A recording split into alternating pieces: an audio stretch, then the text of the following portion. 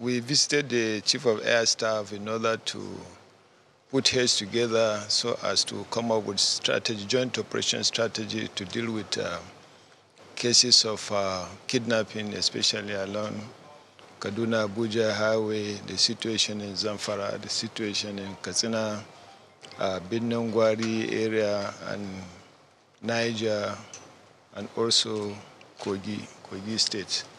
These bandits and kidnappers are getting out of hand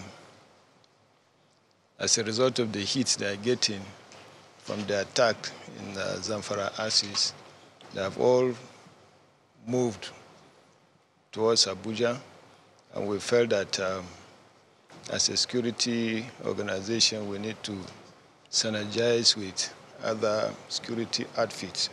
We don't have the air capability, but the Air Force has the air capability.